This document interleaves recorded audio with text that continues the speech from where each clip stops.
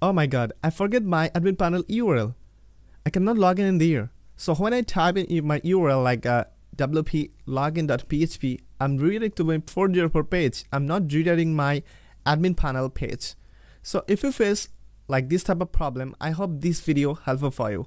In this full video, I will show you step by step how you can restore your admin panel or how you can fix like this type of problem. So let's get started. Alright, so first you just need to go to your like cPanel. It's a very simple way. Just go to cPanel and go to File Manager and you just need to deactivate your hide plugin which you use to hide your URL. So I'm just using here like a WP hide, something uh, like this type of a plugin. So I'm just showing you. Okay, so first go to this File Manager option and go to your like uh, where your file located okay? So if you're using subdomain so go to your subdomain and if you if you're not using subdomain your main domain so go to like public html file. So i just i just using here like subdomain. So basically i'm just facing like this problem in your wp1 so i think this this domain is this folder.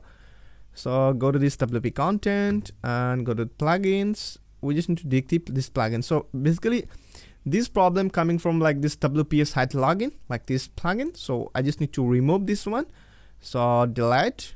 Okay so escape this one. Stick mark on there basically if you skip this it will not go to your trust folder. It's automatically delete or like automatically delete permanently delete that thing.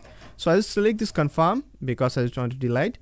So when it's done okay so again go back here and type here your in the in there like in this option like in your url just type wp login.php or wp admin something like so let's try and paste here and reload this page and let's see what happened.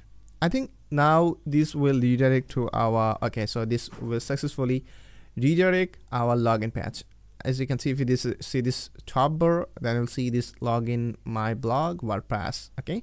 And as you can see it's successfully login and it's successfully coming to my admin panel page I hope this video helpful for you and if you like this video so please click on this like button and if you're new here on my channel so please consider and subscribe because I to upload WordPress related videos, WordPress problem fixing, something like this.